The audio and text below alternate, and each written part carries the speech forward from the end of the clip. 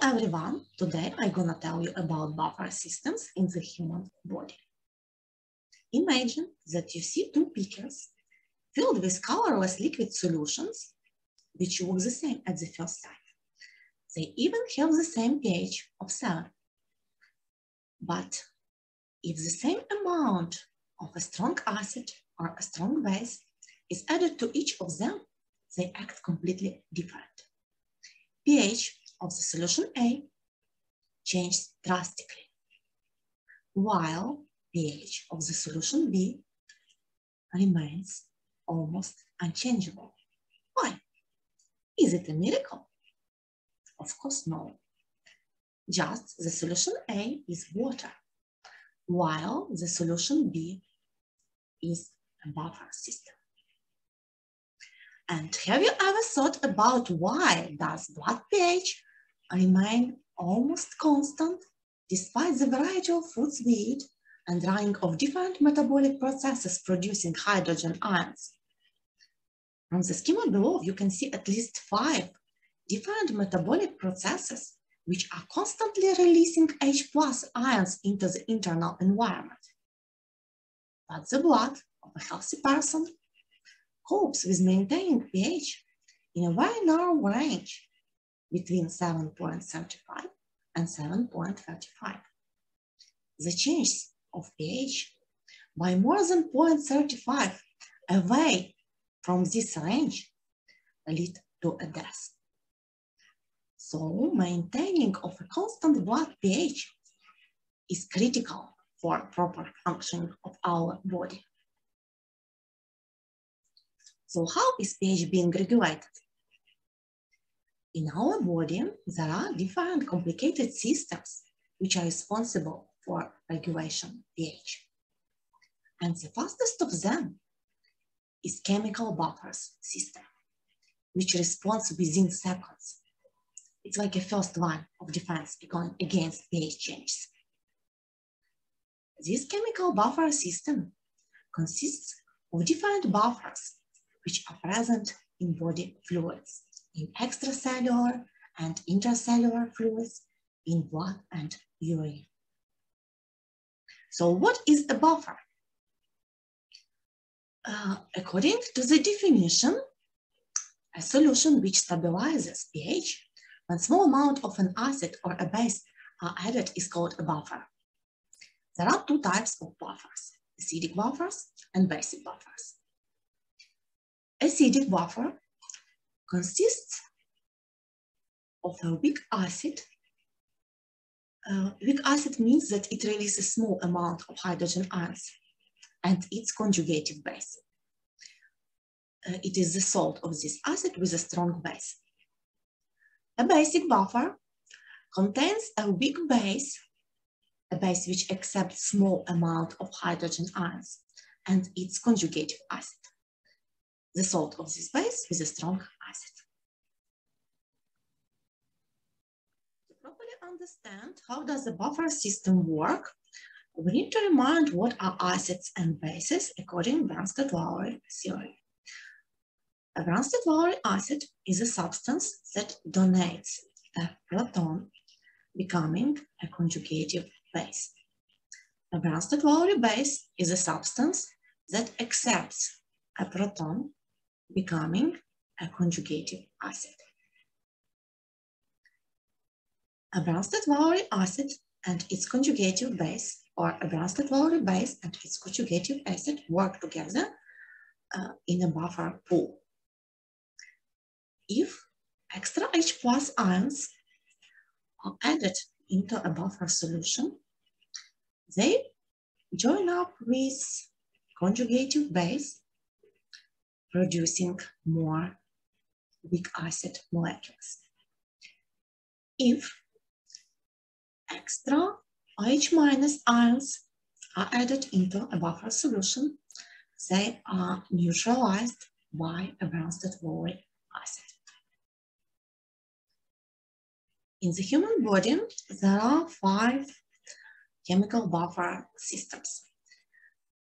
The most known of them and the most important is the bicarbonate buffer system because both of its components H2CO3 and HCO3 minus can be regulated. Concentration of H2CO3 can be regulated by respiratory system and concentration of HCO3 minus ions can be regulated by renal system. Other chemical buffers in the human body are phosphate, proteins, hemoglobin, and ammonia. Let's find out how does a bicarbonate buffer work. We know that carbon dioxide is constantly produced in the human body as a result of metabolic processes. It reacts with water molecules um, forming H2CO3 which dissociates into H plus and HCO3 minus. All these particles are in equilibrium. If concentration of H plus ions increases, equilibrium shifts to the left side, favoring backward reaction, and their concentration decreases if concentration of H minus ions increases, they start to combine with H plus ions, producing water molecules. That's why H plus concentration decreases and equilibrium shifts to the right side, favoring the forward reaction. pH of a bicarbonate buffer can be calculated uh, using Henderson-Hasselbalch equation, according which pH equals to pK plus logarithm of concentration of HCO3 minus divided by concentration of H2CO3. Uh, as you know, the concentration of HCO3 minus ions is controlled mainly by kidneys, whilst partial pressure of CO2 is controlled by lungs, pH can be expressed as pH equals constant plus kidneys over lungs. Hemoglobin buffer system, uh, which is present in red blood cells. It consists of deoxyhemoglobin, HHB, which is a weak acid. It is a Bronsted-Lowry acid and its conjugative base, Hb minus. Also, there are oxyhemoglobin, HHBO2, and its anion, HbO2 minus, uh, which also play an important role in functioning of a hemoglobin buffer. So what is happening in uh, pulmonary capillaries of our lungs? concentration of oxygen there is very high. So oxygen molecules join up with HHB, producing oxyhemoglobin. Oxyhemoglobin is a stronger acid than desoxyhemoglobin, so it dissociates to a greater extent, producing more H plus ions and HbO2 minus. HbO2 minus ions are carrying oxygen to the body tissues. In the body tissues, concentration of oxygen is low, so HbO2 minus dissociate, producing Hb minus and O2. Hb, as a conjugative base of a weak acid, starts to combine with H plus ions, producing molecules of hemoglobin.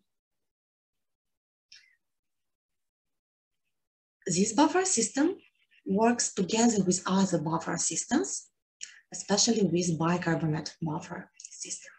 Protein buffers, which mostly operate in blood plasma, are buffers because of their amphoteric nature.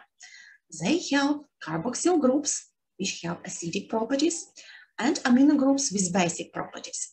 So if concentration of H plus ions increases, amino groups accept H plus ions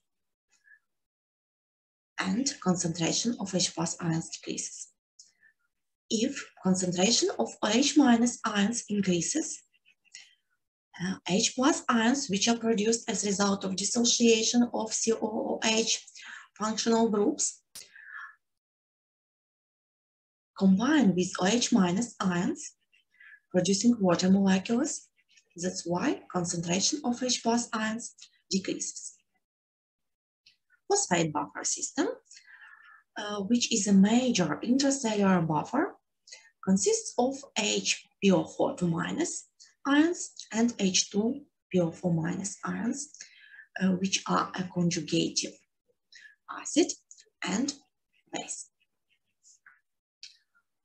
Uh, in the process of buffering of an acid, HPO4 2 minus ions join up with H plus ions, producing H2PO4 minus, and their concentration decreases because of equilibrium is being shifted to the right side. While buffering of a base, H plus ions are combined with H minus ions producing water, so their concentration decreases and equilibrium shifts to the left side. A strong base is converted to weak base, so it's less effect on pH. Ammonia buffer system. Uh, it is uranyl buffer.